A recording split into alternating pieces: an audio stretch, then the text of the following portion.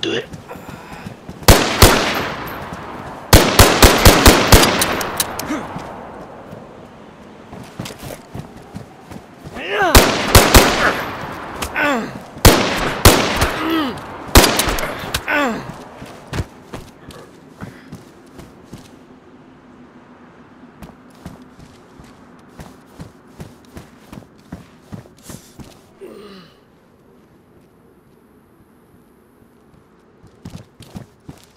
Tough son of a bitch, ain't ya?